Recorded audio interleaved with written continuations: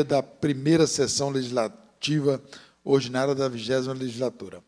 A presidência solicita que os senhores e senhoras deputadas façam seu registro biométrico no terminal.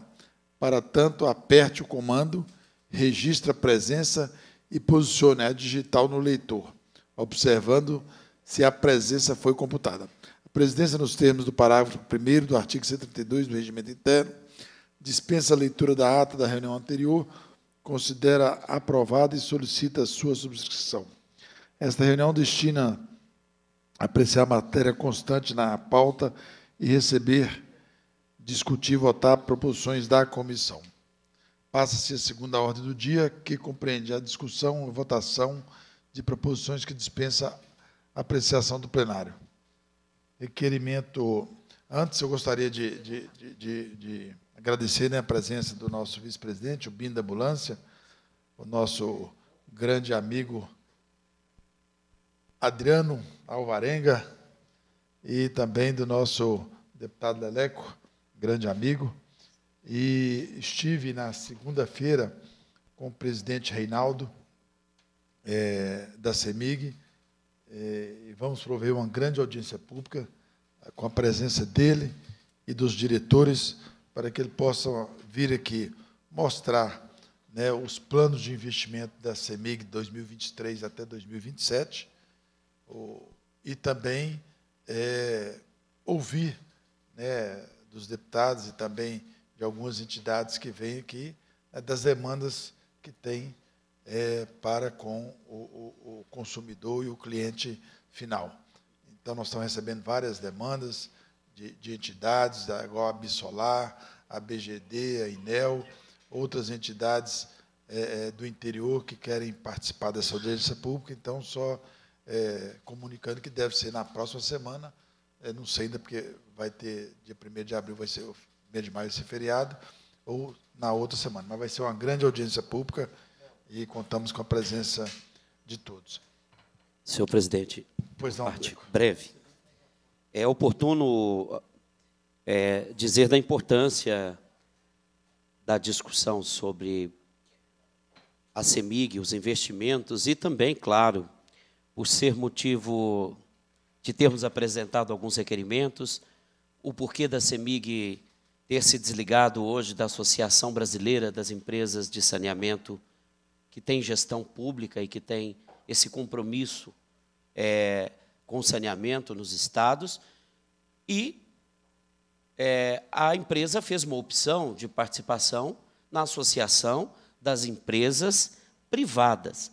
Isso é uma demonstração de um caminho político que nós, naturalmente, queremos discutir durante esta importante é, audiência pública, mas, para além disso, nós temos hoje a CEMIG é, como um dos serviços públicos ou da prestadora de serviços públicos que trata de temas é, que são sensíveis na, na nossa sociedade. Uma é a questão da matriz da energia, que o senhor tem levado com afinco em relação à energia fotovoltaica, desse, é, desse campo importante de energia que nós hoje tratamos como energia limpa. A segunda questão diz respeito ao grande pedido de extensão de rede que as comunidades rurais e comunidades hoje que, é, na penumbra, clamam por esse serviço público. Então, desse modo, a gente te parabeniza pela condução dos trabalhos e também é, para que essa audiência pública possa contar com a participação de comunidades é, tradicionais.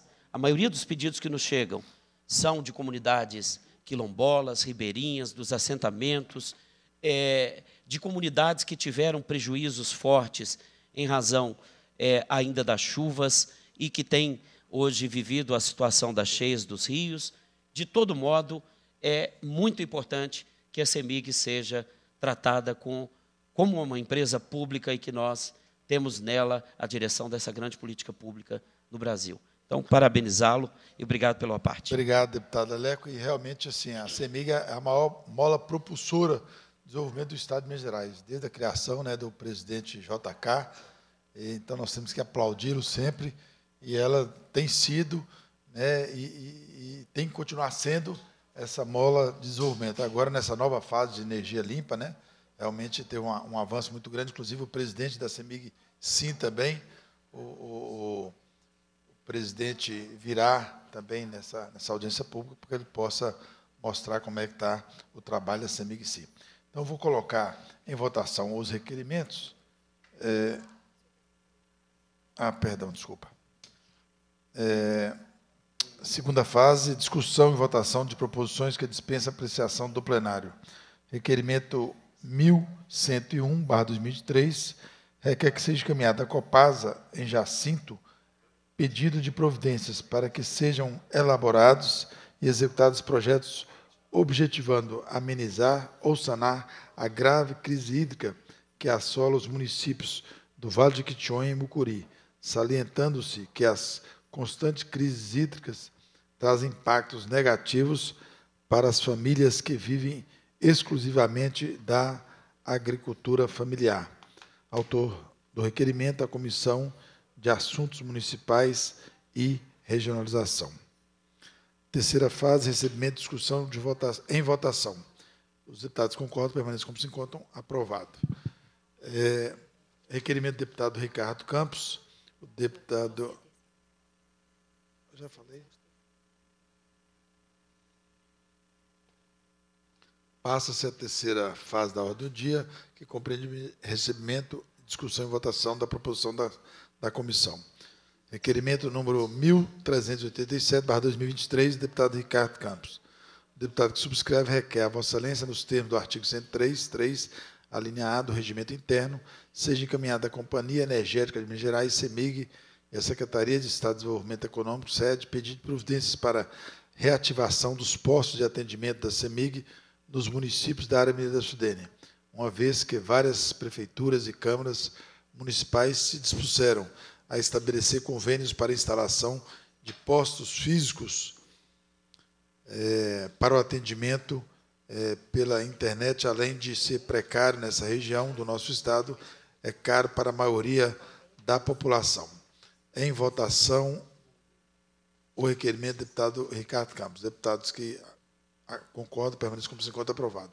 É um dos casos, né, está aqui o requerimento aprovado do deputado Ricardo Campos, né, que a CEMIG vai poder. É, vou passar a presidência para o nosso deputado, vice-presidente, deputado Bi, da ambulância, para que ele possa ler requerimento da nossa autoria. Petista.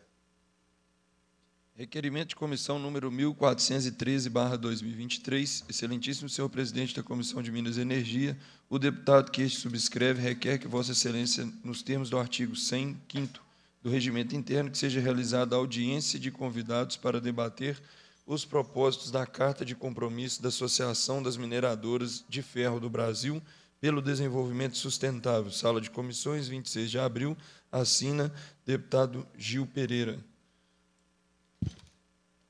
E o requerimento de número 1299/2023, excelentíssimo senhor presidente da Comissão de Minas e Energia, o deputado que este subscreve requer que vossa excelência nos termos do artigo 100, quinto combinado com o artigo 128 do regimento interno que seja realizada audiência de convidados conjunta com a Comissão de Transporte, Comunicação e Obras Públicas para debater sobre a melhoria e expansão do trecho de ferrovia que liga a cidade de Corinto a Salvador administrativa, administrada pela VLI Multimodal SLA. SA, Sala de Comissões, 19 de abril de 2023, assina deputado Gil Pereira. Os deputados que concordam permanecem como estão, os contrários manifestam. Fica aprovado o requerimento 1299 e o 1413, ambos, barra 2023. Devolvo a presidência ao nosso presidente, líder Gil Pereira. Agradeço né, o deputado Bi. E quero dizer que são dois requerimentos importantes. Primeiro, que essa né, associação é, que foi criada, Associação de Mineradoras de Ferro do Brasil, é, inclusive o ex-deputado nosso, João Alberto, que, que, é o presidente dela, e como isso, isso. Então ele vai vir para mostrar, eu já convidei ele, mostrar né, o planejamento, já que Minas é um estado que realmente precisa é, dessa atividade econômica, mas todos nós defendemos a atividade econômica desde que seja sustentável, né? Eu acredito que a associação também deve pensar dessa forma, mas que ele possa vir aqui esclarecer. Outra é a questão da VLI. É, no dia 29 agora, o deputado João Leite nos convidou, inclusive, 29 e 30 para estar em Caravelas, que vai ser o lançamento é, é, da, da, do início da ferrovia de Caravelas, Salinas até Araçuaí, com a questão do lítio em Itinga, Iraçuaí, viabilizou esse empreendimento. Então, o João Leite que fez um trabalho, e continua fazendo um trabalho muito bem feito aqui, sobre a questão da, é, da retomada dos trilhos. Então, é, que nós possamos também, é, aí a VLI, é, no caso, é, é a Vale, né? porque quer desativar por completo a linha de Corinto, passando pela nossa cidade de Bocaiúva, Montes Claros, né, Capitão Enéas, Janaúba, Mato Verde, é, Monte Azul, Espinosa, Porteirinha também. Então, que vai até Salvador. É o trem baiano que a gente fala. Então, esse trem nós temos que.